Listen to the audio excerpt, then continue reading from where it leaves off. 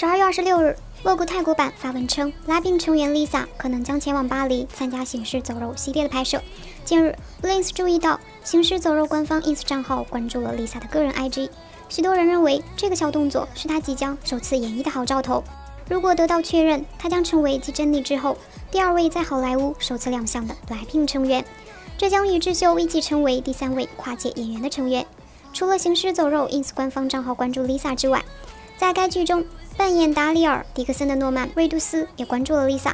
去年十一月，两人还被发现在法国观看巴黎圣日耳曼队对阵纽卡斯尔联队的比赛。行尸走肉官方 ins 账号曾分享过两人在活动现场的照片。近几个月来，Lisa 一直往返于韩国和法国，因此有很大的可能性将参与其拍摄。